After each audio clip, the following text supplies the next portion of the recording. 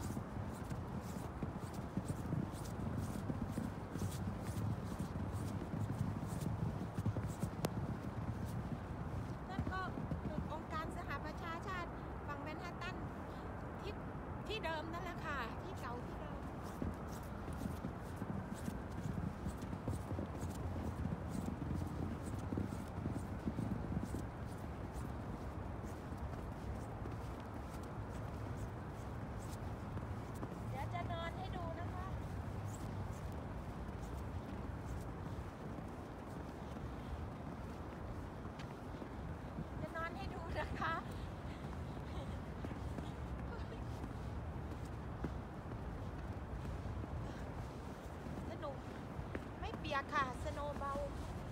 นอนใหม่ เนี่ยค่ะ นอนแล้วก็ลองคิดดูบรรยากาศในยามค่ำคืนเขานอนดูดาว